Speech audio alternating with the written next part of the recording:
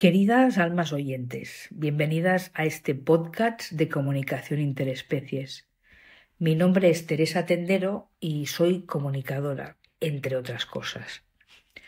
Antes de explicarte qué es la comunicación interespecies, cómo se da, con quién, para qué, por qué y otras cuestiones más, déjame contarte brevemente mi historia de vida, porque las historias de vida son caminos que definen el presente continuo en el que vivimos, cambiante, mutando constantemente en su danza al son de la vida y del vivir.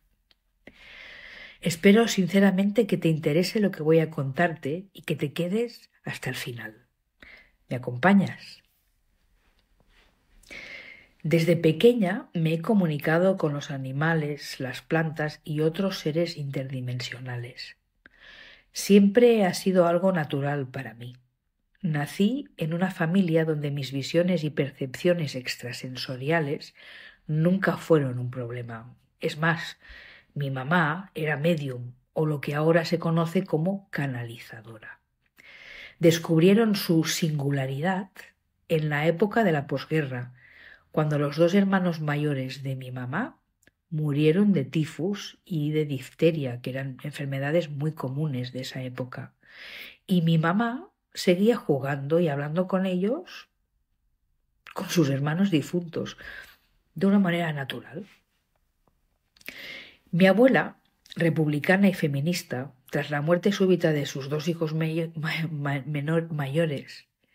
entró en una depresión tremenda se pasaba las horas llorando y escuchando a mi mamá cómo jugaba con sus hermanos fallecidos, hasta que un día conocieron a la señora María Mellado del Popla Sec de Barcelona, que les explicó que la muerte no existe tal como la conocemos.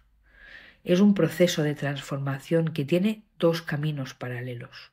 Uno es el físico, donde la materia sigue su curso de reciclaje natural, regresando a la tierra, abonándola y generando más vida. El otro camino es el espiritual, el invisible, donde el alma continúa viviendo en otro plano dimensional mucho más sutil, que es el que mi mamá percibía. Conocer a la señora María Mellado les cambió la vida. María era de las mujeres que acompañaban a los moribundos a hacer el traspaso al mundo espiritual. Antiguamente, en cada pueblo o ciudad había las mediums, que eran las mujeres mediadoras entre mundos. Solían ser mujeres, habían algunos hombres, pero era una, un servicio que hacían las mujeres. Ellas ayudaban a morir a las personas. No era un trato comercial ni mediaba dinero alguno, era sencillamente un servicio a la comunidad. Disponibilizaban su don particular de conexión con lo que se conoce como el más allá para servir a los necesitados. Y así fue como mi mamá y mi abuela empezaron a acompañar a la señora Mellado en sus servicios, para que mi mamá aprendiera a usar la mediumnidad correctamente y evitar así posibles desequilibrios psíquicos. De hecho, muchos de los enfermos psiquiátricos medicados e incluso ingresados en hospitales para tratamiento psiquiátrico son mediums no educados y mal atendidos, mal comprendidos. Mi mamá, por indicación de la señora Mellado, empezó a estudiar la filosofía espiritista de Alan Kardec, con los libros traducidos del francés al castellano que venían de extraperlo de Francia a Barcelona, porque la dictadura franquista los tenía prohibidos como tantos otros, con incluso el peligro de ir a la cárcel solo por leerlos. Mi madre me contaba que ella y mi abuela iban a comprar los libros a una librería cerca de la Universidad de Barcelona y, que tenían que conocer muy bien la contraseña para que el librero les diera los libros prohibidos que estaban muy bien escondidos en su trastero. Desde entonces, en casa de mis abuelos, se daban reuniones mediúnicas de manera recurrente y oculta, por supuesto, para no levantar sospechas. Cuando mi madre se casó, tuvo que dejar de ejercer la mediumnidad porque mi padre no quería saber nada de todo eso.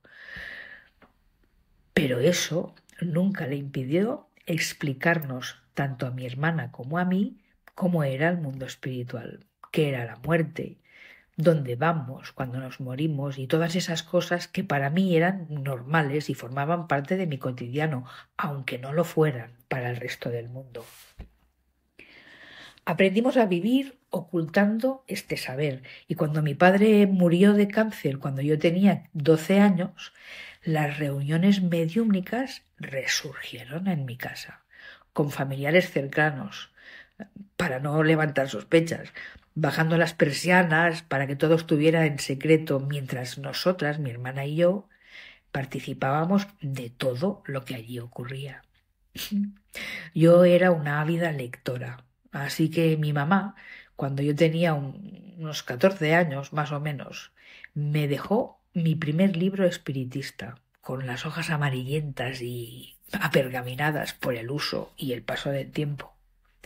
El título era El libro de los espíritus de Alan Kardec, una joya para mí. A partir de entonces empecé a leer, a preguntar, a estudiar, a conocer cómo era el mundo espiritual, invisible para muchos y absolutamente transparente para mí. La lectura me ofrecía la posibilidad de poner palabras a un mundo que para mí era totalmente conocido pero que no sabía describir.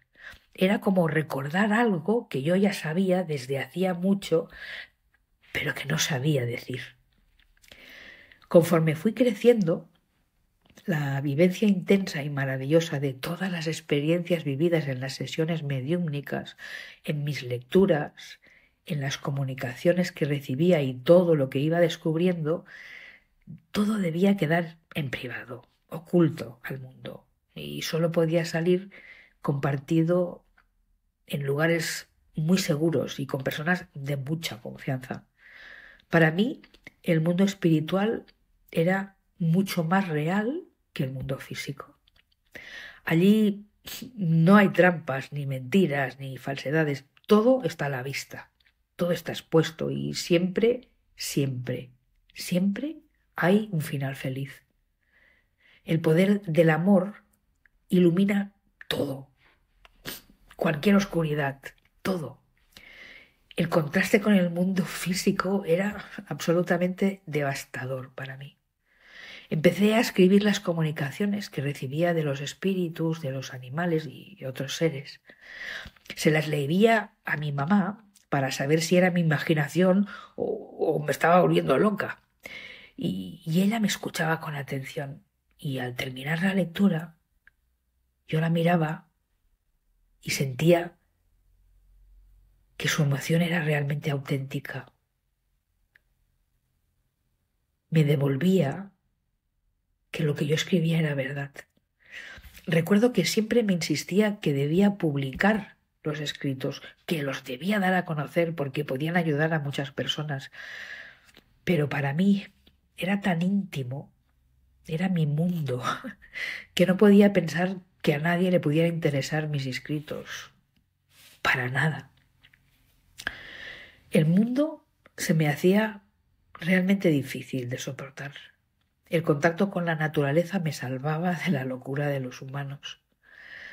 Las plantas, los animales, el bosque, los árboles, la comprensión de mi madre y sus incansables explicaciones a mis constantes porqués y mis luchas internas, me hacían sentir que, que todo estaba bien, que no estaba loca, que todo era verdad, aunque nadie de mi entorno pudiera ver lo que yo veía y escuchaba.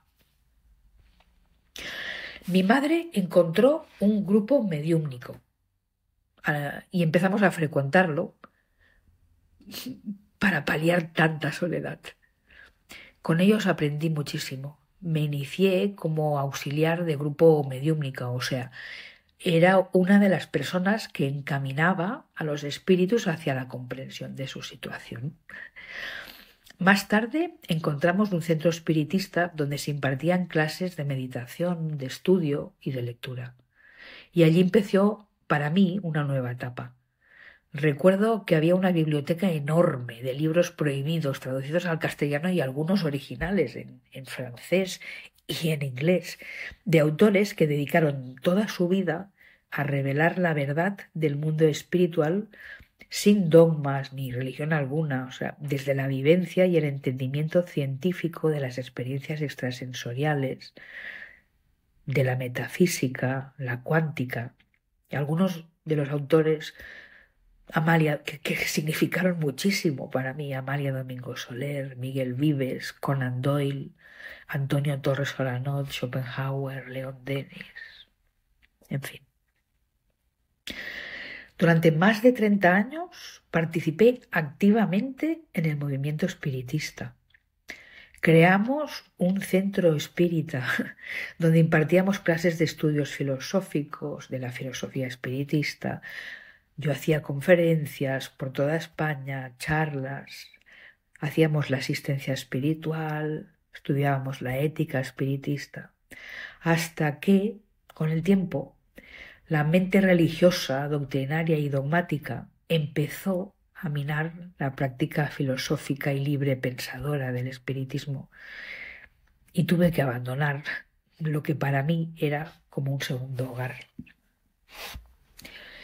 El refugio que me ofrecía la naturaleza, los animales y el contacto con la realidad espiritual me salvó de extraviarme en este mundo físico demasiado duro para mí donde el amor nunca era suficiente y pocas veces ganaba las batallas feroces de la insensatez humana, tan al contrario de toda la belleza y, y sabiduría del mundo invisible, con sus oscuridades también, por supuesto, pero con un amor que nunca se cansa, nunca reprocha ni tiene fin. Ver lo que otros no ven es una bendición, pero también quiero decirte que tiene una parte muy dolorosa, de mucha soledad.